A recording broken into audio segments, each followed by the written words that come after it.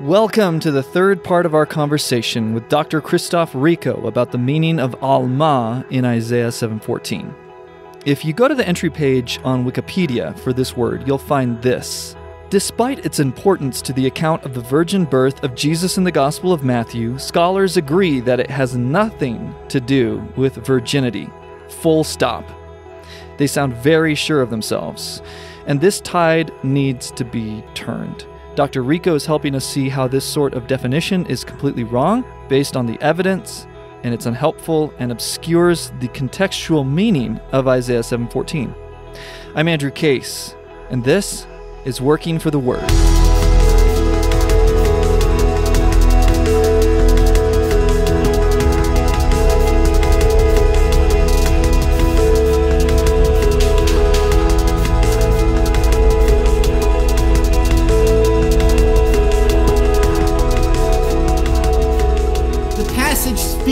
Nothing about a virgin.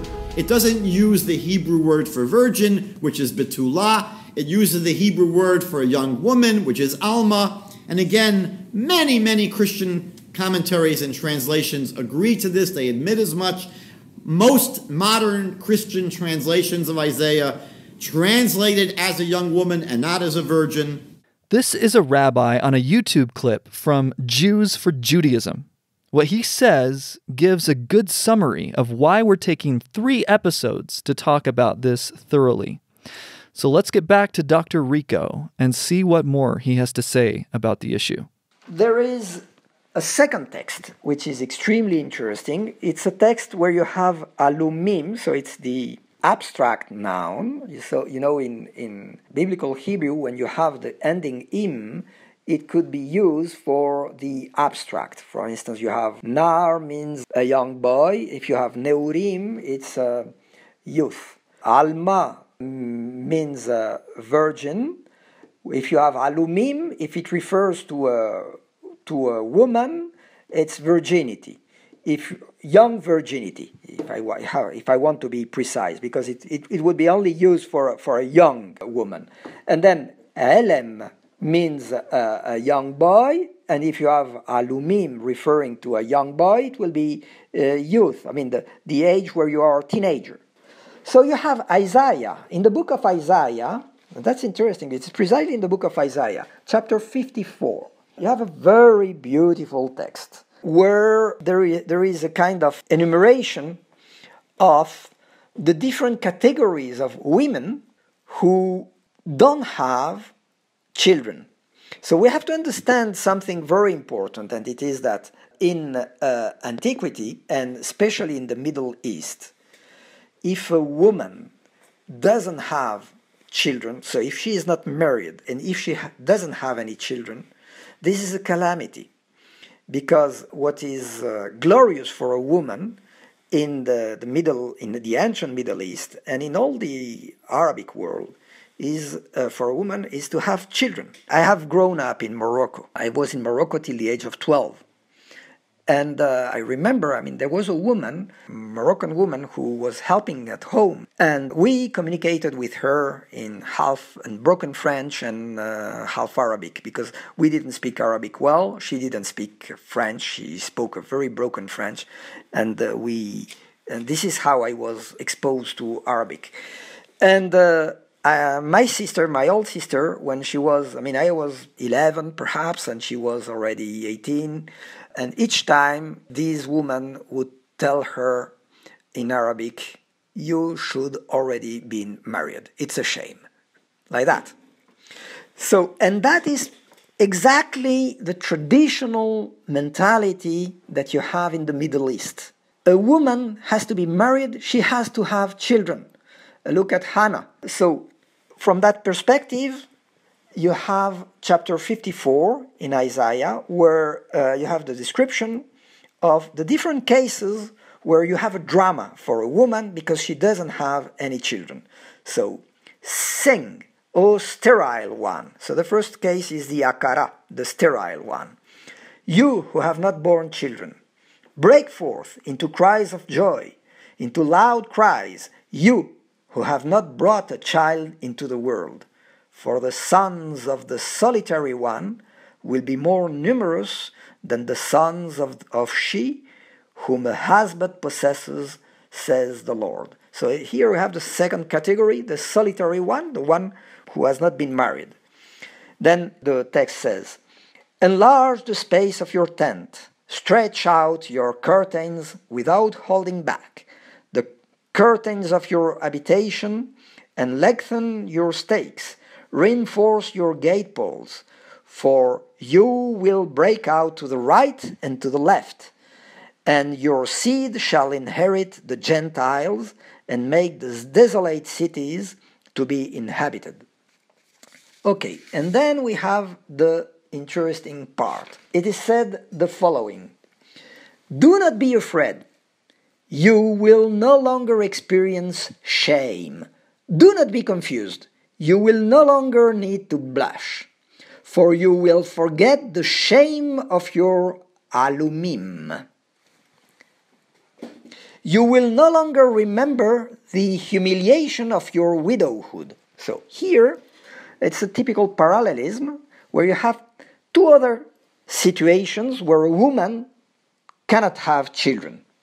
Two other cases. We had first the case of the sterile woman, then the case of the woman who is solitary. Uh, later afterwards, we will have the woman who is azuva, who has been abandoned by her husband um, before she got children. But here we have two cases the case of widowhood, which is a humiliation, because first she was not humiliated. She had a husband, but now she doesn't have a, a, husband anymore. So it's a humiliation, and the word that we have in Hebrew means that there is a humiliation. And the other one is the shame. That means it has always it is like that. It is, state, it is a state like that. It is not a humiliation. It is a state where you are in shame because of your alumim, of your state of being alma. And look at what happens afterwards. Because your creator is the one who possesses you. Yahweh Sabaoth is his name, and the Holy One of Israel is your Redeemer, Goel. He is called the God of all the earth. Let us start with the second case. So, you have a Goel, a Redeemer. So, let's refresh our memories real quick about what a Goel does in the Bible. The Zondervan Encyclopedia of the Bible says the term is used frequently in the Old Testament with reference to the person who is next of kin and his respective duties. One of those duties was to buy back what his poor brother had sold and could not himself regain. Leviticus 25, 25 through 26. He was also the recipient of the restitution that might be due to a next of kin. Numbers 5 8. The story of Ruth illustrates the responsibility of the Redeemer to purchase land belonging to one deceased who was next of kin, to marry his widow, and to raise up children for the deceased. Ruth 2:20 and 4:14. In addition, the Goel was to avenge any wrong done to a next of kin, particularly murder. Numbers 35:12. The Goel goes with the widow. So the Goel is the one who redeems the widow. And then what I tra- translated as the one who possesses you, which is the word Boel, that person is the one who goes with the Alma. Sometimes we could we could have the impression that the Bible is a little bit crude, you know, but we have to understand that we are talking about covenant. Uh, marriage is a covenant. We are talking about that, and uh, covenant is always applied to God with his people. Here, the woman is the, the, the, the, the people of Israel. It's a metaphor, which is a metaphor which might be crude, but which uh, refers to the covenant between God and his people. And in the same way as you have a Boel that goes with an Alma, so he becomes the, the husband of the Alma, in the same way, God has made a covenant with his people. So, what is important here is that we are talking about an experience of shame or an experience of humiliation, and these experiences are going to stop. So, the humiliation of the widow will stop with the Goel. Once you have the Redeemer, the widow is not anymore a widow. She's married again. So she has her Goel, she has her Redeemer. So her humiliation stops. Her situation of widowhood stops. There is no more widowhood because there is a Goel, a redeemer. Then we have the Alma. There is a Boel who comes. So the word Boel, it can have two different meanings. One is the, the fact of possessing land, but the, the first and primary meaning, and more frequent in the Bible, is the fact of possessing a woman. I mean, the, the, the sexual intercourse. This is the meaning of the word Boel. What will stop with the Boel it's the alumim. So what is alumim if it is not young virginity? Tell me, how can I understand the text otherwise? Many times it is not well and well translated, by the way. But this is what the, the text means. It cannot mean just youth. Because if it meant youth, from the moment you have a goel, you don't stop to be a young woman, you see?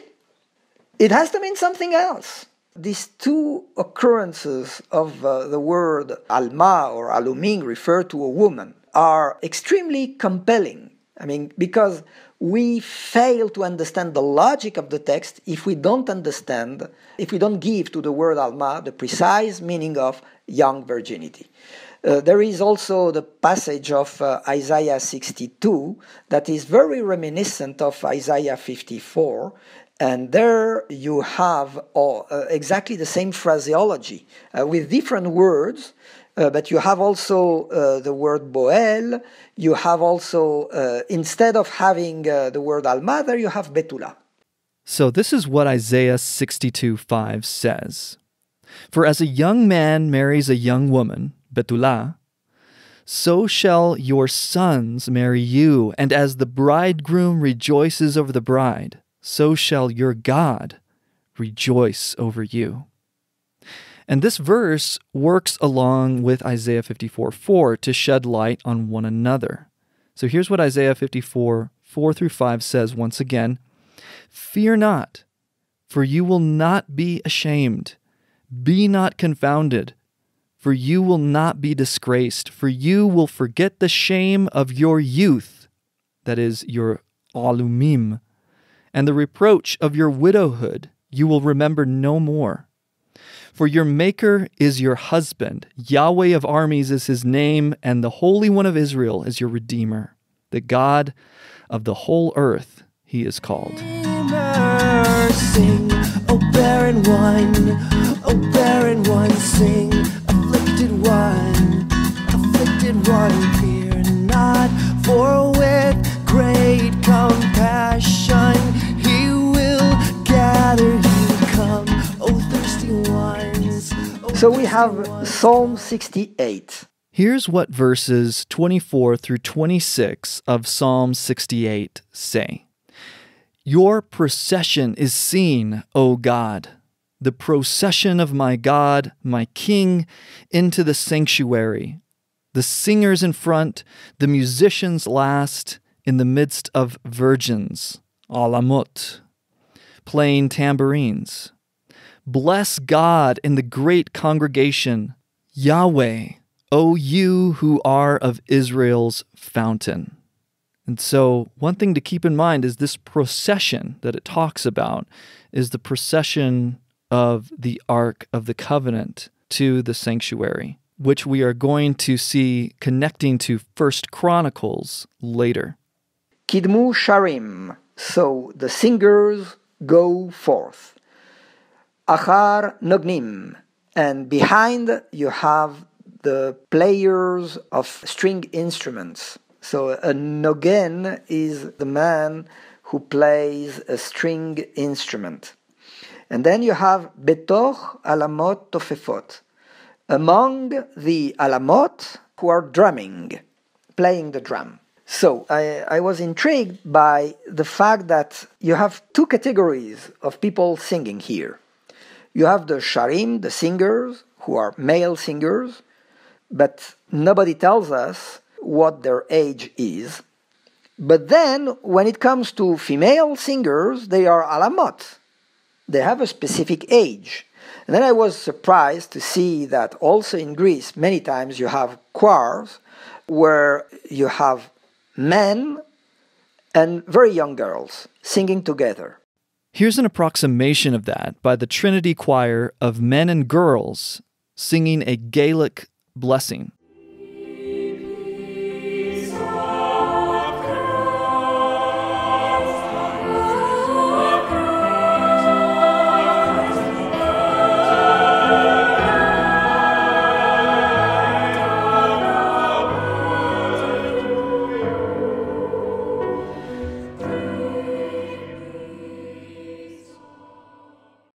So this is uh, surprising. Why is that the case? I talked with a musician and he explained me the following thing.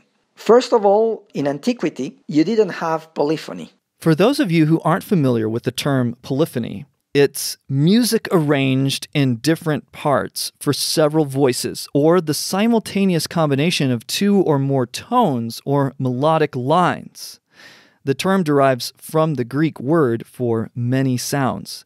So even a single interval made up of two simultaneous notes or a chord of three simultaneous tones is rudimentarily polyphonic.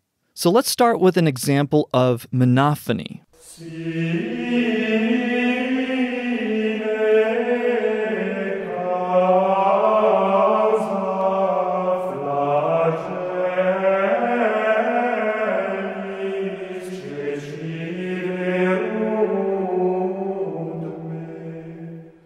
Now, here's an example of polyphony. These girls would most likely fall into the alamut category.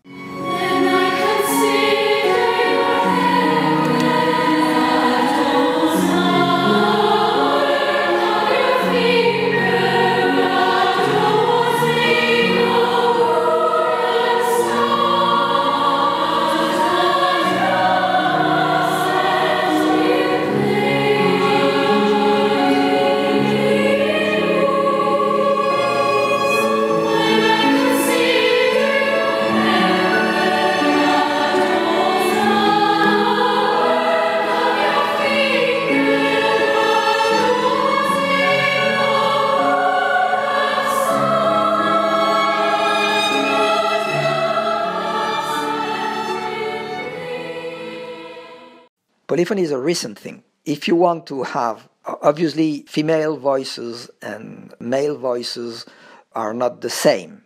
If you want to have male singers and female singers singing together in a culture that didn't know anything about polyphony, the only way was to have a, an octave of difference between the melody sung by women and the melody sung by men.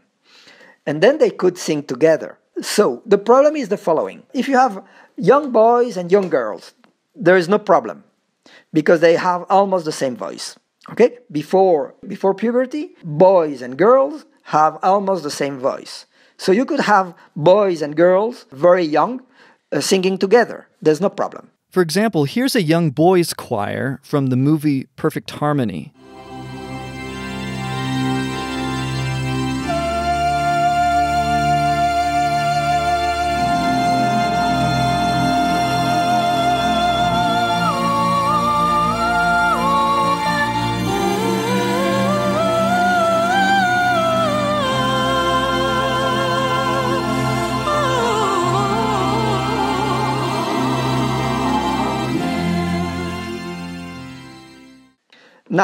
Boys and girls at the beginning, they have a soprano voice. They, there, is, there is a slight difference between boys and girls, but more or less they have the same range of uh, notes that they can sing, and they can perfectly sing together. There's no problem.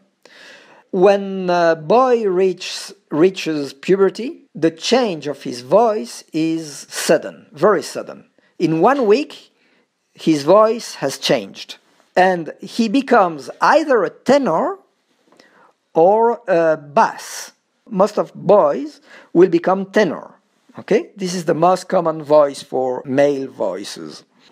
So what happens with girls? Also, in the case of girls, they their voice matures.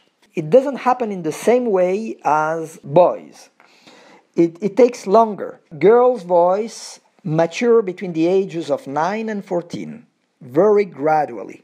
And at the end of this process, girls who are all soprano at the beginning Some of them will become alto, and some of them will remain soprano, but their voice becomes wider in the lower range. So, what does it mean? It means if, if I want to have tenors singing with women, the best way is to have young girls who have not yet matured because there won't be any alto. You know, alto is already different. If you have altos and tenors, it's difficult to, to, to sing together. But the difference between tenor and soprano is an octave. So that's perfect. And also, there is another reason, and it is because the soprano voice of a girl who is before puberty is not the same as the soprano voice of a woman after puberty. Because the um, soprano voice of a girl before puberty is much more flexible. It, it, has look i am not an expert in these things but this is what uh, what is said that there is a kind of flexibility or there is a kind of quality in that voice that is special and this is why there were many choirs where you had young girls and mature men singing together and then you had a difference of an octave, and then very beautiful female voice with a classical male voice, I would say. This helps us understand that you had Kidmu Sharim, so you have the singers that go forth. Then behind you have both the players of uh, string instruments and the alamot, why? Because the players of string instrument tend to, to, to play on a higher pitch. And it's better that the girls are with them in order that they follow the lead of the players and they can help men to follow their lead.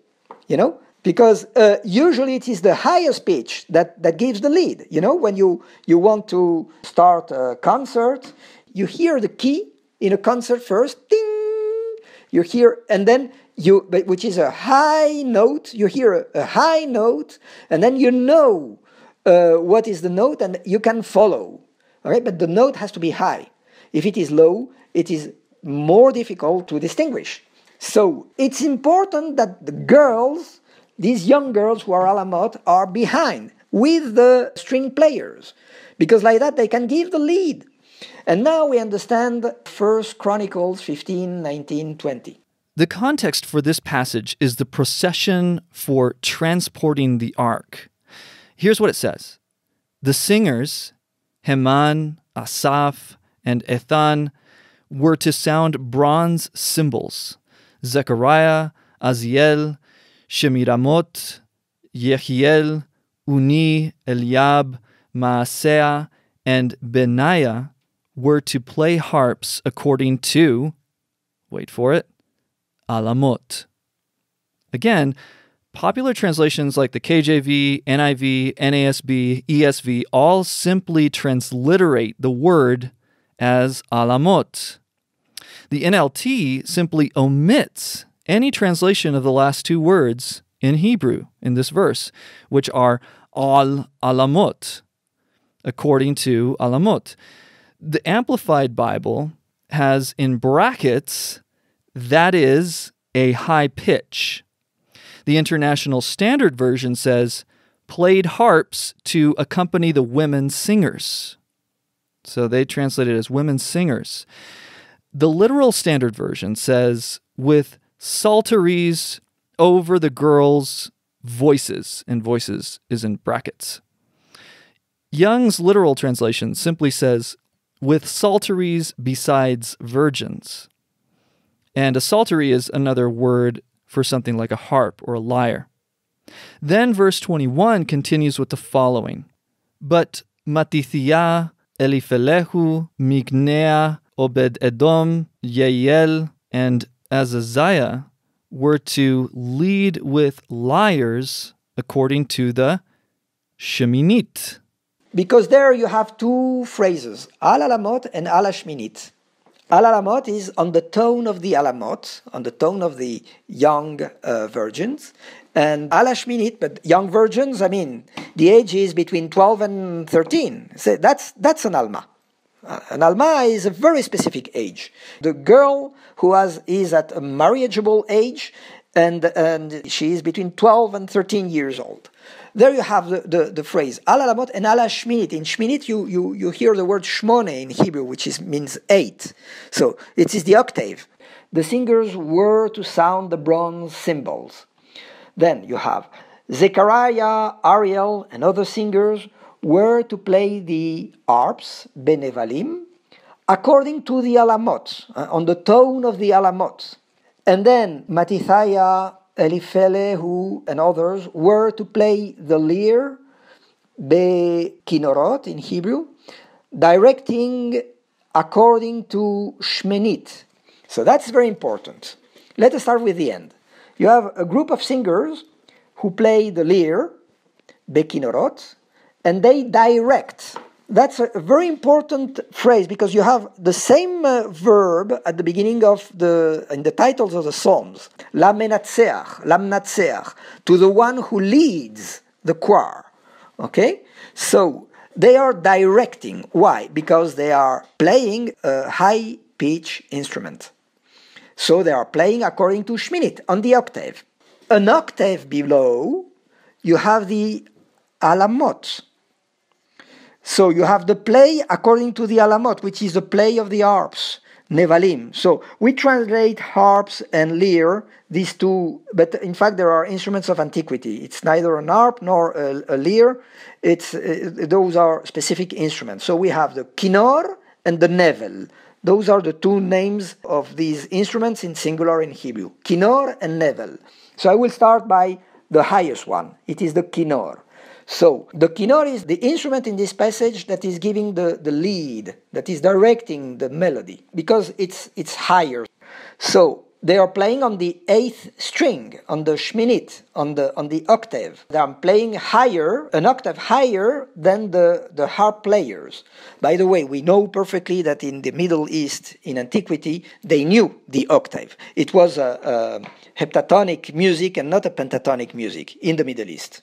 There's no doubt about that. So when, when we translate as Shminit as an octave, we know that uh, this is uh, mm, perfectly sound because the specific music of all the populations in the Middle East, uh, traditional populations of the Middle East, traditional cultures of the Middle East, is a culture of heptatonic mm, music where they knew the octave.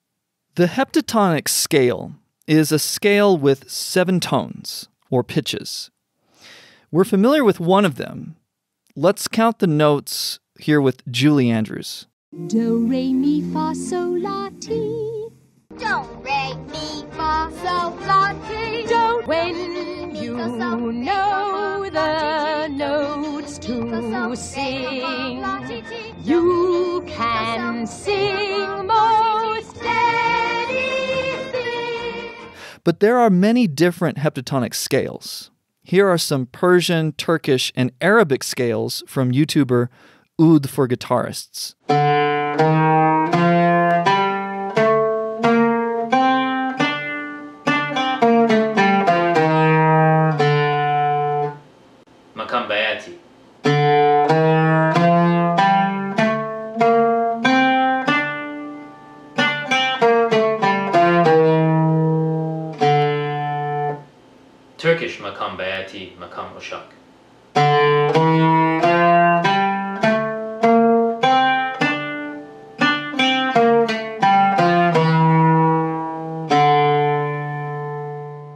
So we have the kinor. So it's interesting that the Talmud says that the strings that were made for the kinor were made from the small intestine of sheep.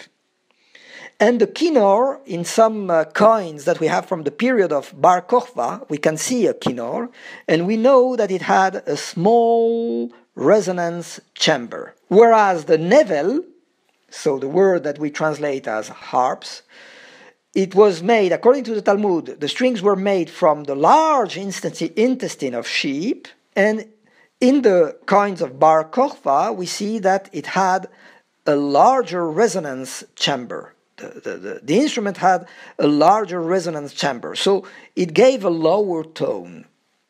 So you have the kinor, which is the highest tone. It's impossible to sing, even an alma cannot sing at that tone. It's the kinor. It plays alashminit. And then you have the Nevalim, which is basically the, to- the tone of, of the Alamot, of the young virgins, and that's uh, a little lower, an octave, an octave lower, and this is the tone Al Alamot. So now we understand when we have the titles of some psalms, of some psalms where you have Al Alamot, on the tone of the Alamot. This is how you have, because it says, Lam Natser, to the one, to the master of the choir. Al Alamot, on the tone of the young virgins. And then you have another indication that tells you how to sing it. So, but you have elements that help to sing, to that help people to sing. I mean, it's it's a very specific vocabulary, you know. And then you have other songs where you have alashminit on the octave. For those of you who are musicians or want to read more on this musical issue, there's a ton of detail along with references in Dr. Rico's book. So you can check that out there. Really, I am very much indebted to uh, Michel Petrosian, who is a composer, and, as, and, and he is all, he, he's also very interested in the Bible, and he has published even on the Bible. So uh, you have here someone, a man, who is both very, very aware of what the Bible is and who is a real composer. So uh, he helped me uh, write the passages that were related to, to musicology.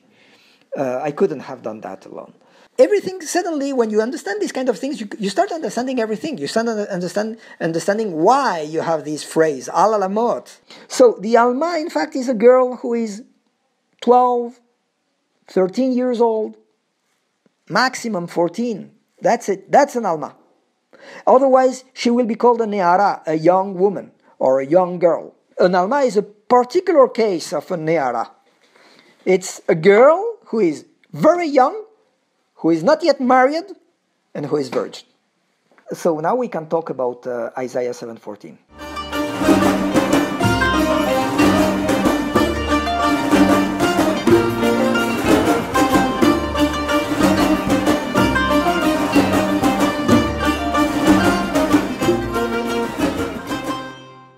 My point is the following.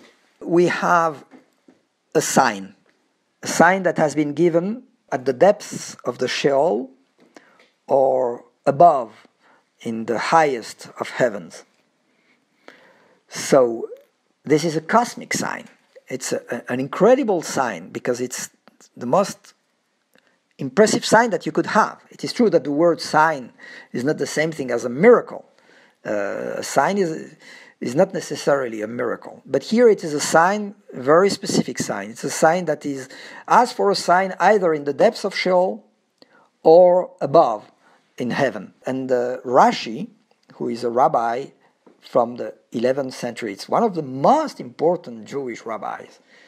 He says, commenting, ask a sign in the Sheol, he says, well, for instance, asking to resurrect a dead you see, he was well aware that this uh, sign was something uh, completely extraordinary. Okay, it's not just that you have a woman who has a child and she calls uh, that child uh, Emmanuel and that's it. No, that's not really uh, a sign. So the thing is, we have here the mother. The name of the mother is not mentioned. The only thing we know about the mother is that she is an Alma. This is the only thing. Hmm? Behold, the Alma uh, will conceive and bear a child and name uh, him Emmanuel, or he will be named Emmanuel according to the to the variant readings. We will go, we will talk about that afterwards. So the father is not mentioned either. So and which is very very unusual in a Semitic context. You always have the name of the, of, of the father. The name of the father is very important in a patriarchal society as uh, Arab uh, society is and as Jewish society in antiquity was. So uh, you had to give the name of the father, but here you don't have it. Unless, unless it all depends on the on the variant reading because you have two variant readings. You, we have she will call her son Emmanuel, but you have a vekarat, so it's uh, you have a, a, a t at the end, but you have a, another variant reading which is vekara, and which is a passive, and he will be called. So that variant reading, Peter Gentry is uh, making a, is giving compelling arguments for that, and I was also talking about that in my book. It's a variant reading that you have in Qumran. It's a variant reading that you have in the Pshita. And Matthew, Matthew, in uh, Matthew 1 25, he says, Kalesusin, they will call him Emmanuel, which means that he has read the passive. You know, because Kalesus, Kalesusin, they will call him, he will be called, you see? So it's a divine passive. What, what does it mean? It means that you avoid pronouncing the name of God. So many times to talk about the actions of God, you give the passive. Hmm? He will be called, so God will, call him. It's the same thing. We cannot be sure 100% about the original uh, reading. Was it Vekara, he, was call, he will be called, or was it Vekarat, she will call? There are, it seems, uh, the mo- I mean, I think the most probable reading is Vekara, he will be called. Why? Because it was very uncommon that a woman would call her child, would give the name her, her child uh, a name. It, it, was always the father who did that. Look, for instance, at Zachariah. He he cannot speak, but he is the one who gives the name, and he said uh, his name is John. Then there is the fact that you have it at Qumran, and that you have it in the Pshita, which is a very ancient translation, and that the Septuagint, as quoted by Matthew, has Kalesusin. So it implies also Vekara. So that's that's compelling. Then instead you have Vekarat, she will call, so you have the Masoretic text, but this is already 7th, 8th century AD. But you have the Vulgate, so it's pre Masoretic, so already Jerome uh, read Vekarat. So the most probable thing is that we had first Vekara, and then at one stage it became Vekarat. But anyway, so in any case, we don't have a mention of the mother, of the name of the mother, of the mother. We don't have a mention of the name of the Father unless we consider that it's a divine passive and then the, the, the, Father is God. As we have with the second character that happens in Isaiah 9, uh, where you have Vekara Shmo, and he will be named Pele Yoetz, so um, wonderful counselor and powerful God and eternal Father and Prince of Peace. Okay? But he will be named. So, no mention of the mother, no mention of the father. The only thing we know about the mother is that she is an Alma. If we consider that an Alma is a young woman, well, you know, if you have to be a young woman to, to bear a child. So that's not uh, an information, you see? He was not the son of Akaz, of King Akaz, because Akaz, according to all the books, to all the references in the Bible where uh, we have a, a reference to Akaz, it is never said that he had a child named Emmanuel. And then the oracle was not directly addressed to Akaz because Akaz didn't want to hear the oracle. This is why he's saying, uh, I won't tempt God. And then Isaiah says, You don't ask for a sign, God Himself will give a sign. Listen to me, house of David. So the, the, the sign is given not to Akaz, but the, to, to all the dynasty, to the house of David. So then okay, we could say, okay, what is the sign? sign is, is the sign that there will be a boy that will be born? Is that a sign? Is the sign that the fact that he is called Emmanuel? So Emmanuel is not a special name. Okay, the meaning Emmanuel has a, a very deep meaning within Isaiah 7 and Isaiah 8. Okay, but as such, it's not a very special name because it's uh, there are so many theophoric names in the Bible, in, among first names in ancient Israel. There are instances of, of, of names very, very similar to Emmanuel. We have in a seal from the time of Hezekiah, who was the son of uh, King Akaz, we have the word in, the, in that seal, the word Imadiyahu. So the, it's a name, it's, an, it's, it's a person name, Imadiyahu. Imadiyahu means Yahweh is with me. And then in a papyrus from Elephantine, from the 5th century BC, uh, we have Imanu Yah. So Yahweh is with us. It's almost the same thing as Emmanuel. So if one gave the word, to the word Alma the meaning of celibate, nubile woman, what the reader would struggle to discern would be precisely the object of the sign given to the house of David we have an unknown girl who is pregnant. We don't know who the father is. She bears a child and gives her son, or her son is given, according to the variant readings, a name which does not sound strange in ancient Israel among the numerous theophoric names that were given to, to, to children. I mean, if we take, for instance, the, the, in, in, in Isaiah 7, the sons of Isaiah, so Maher Shalal uh, Baz, this is, this is a very, very strange name. Or uh, Shar Yashuv, a rest will come back. This is a completely strange name. This name is a sign, you see? But if I say Emmanuel, this is normal business, you know, I would, I would dare say. I mean, uh, it, of course, the word Emmanuel then takes a, a very deep meaning, but, but that's a, a different story. So we have the parents who remain anonymous. The child remains unknown. Even, even the fact that he is eating curds and honey. Okay, this is normal, normal meals for children. This is standard. I mean, there's, there's nothing strange in that. There are, there are some elements that are given by that information because it has to do with the fact that the land will be desolate and then there will only be uh, the cows you will have honey, which is uh, wild, and then you have milk. So this is what people will eat. Then you have also the fact that it is the land, the promised land, which is where you have uh, milk and honey, which is flowing, flowing. So you have both a sign of hope and a sign of despair. It is it is ambiguous, but the, the, the fact is that it's, it's not very consistent as a sign. So we have not, we don't have a single word about the role of the Emmanuel I mean, if, if I take the two other characters that we have in, in, the, in chapters 7 to 12 in Isaiah, so El Gibor, for instance, the one, the, the boy who has four names, one of them is El Gibor, powerful, mighty God, mighty God. Okay, we don't know who the father is or who the mother is because a child has been born to us, okay? But at least we know that he will sit upon the throne of David. That is something very specific. Uh, so, um, but here, nothing.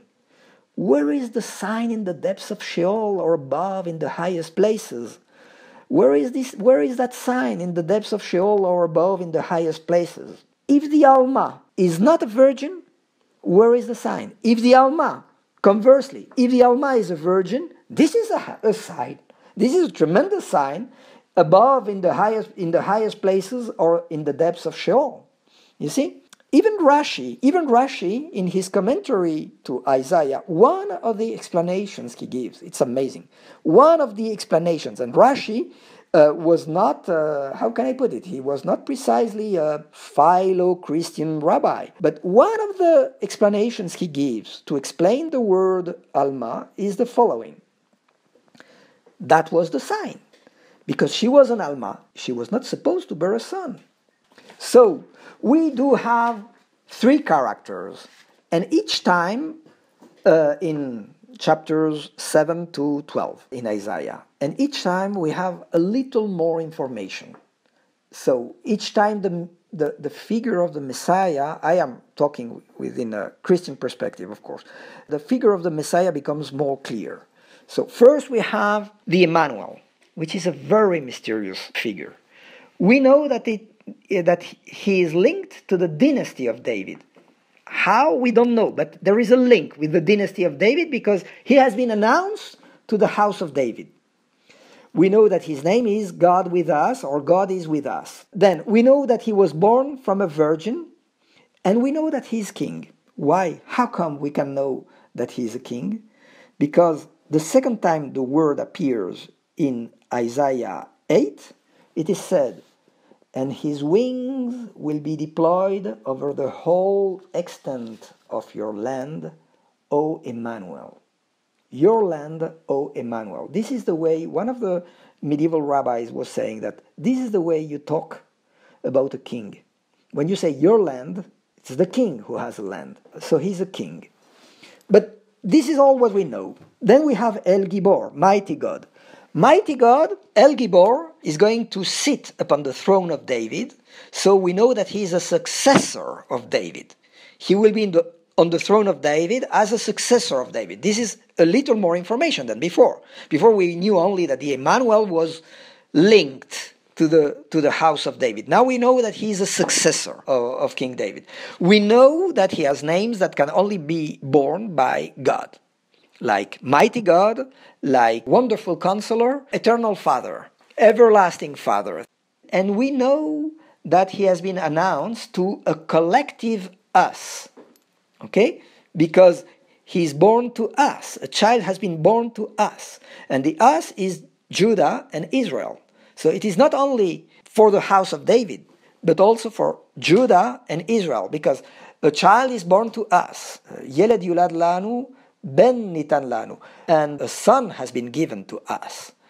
Then when we go to the root or stamp of Jesse, we know that he is not only linked to the dynasty of David, he is not only a successor of David, but he is a descendant of David because he is from the root of Jesse. And he is not only uh, a sign for the house of David, not only for Judah and Israel, but also for all people. Because it is said that he will be a signal for all people, and the Spirit of the Lord will lay upon him. Man, wasn't that such a rich exposition? I hope you enjoyed and appreciated that as much as I did. Another big thank you to Dr. Rico for sharing his wealth of insight with us. Now, before you go, I want to mention something important. If you look at the entry for Isaiah 7:14 on Wikipedia, you'll find once again that they consider the case to be closed, that Alma does not specifically mean virgin. The same is true of the entry for Alma. So, if some of you out there listening to this would be willing to submit additions or corrections to these Wikipedia articles, please go ahead and do it by quoting Dr. Rico's book. Add a little bit of debate and pushback on what supposedly is a foregone conclusion. People need to have all the information and be allowed to think for themselves. So, let's please help the world by encouraging Wikipedia to present a more balanced picture. You'll find links to those entries in the description. Working for the Word is a podcast where we believe that the Bible is a unified, God breathed, God centered, hope giving book, sweeter than honey, and pointing to Jesus. This podcast exists to help us all become more like the man of Psalm 1.